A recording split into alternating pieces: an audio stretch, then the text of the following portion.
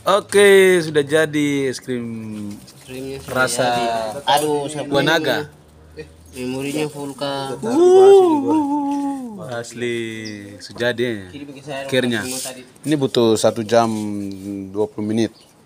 Karena tadi ada lampu mati menyala jadi.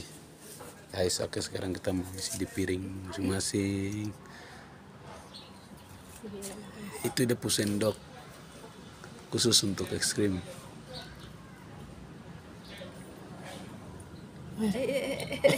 Itu itu kok langsung pas.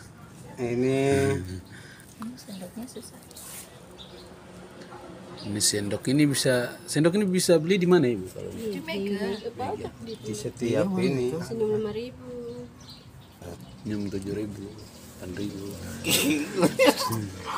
Bang Dibu tidak ada. Eh, seru apa eh es krim banyak banyak ini. Jadi ada yang mau es krim datang sini.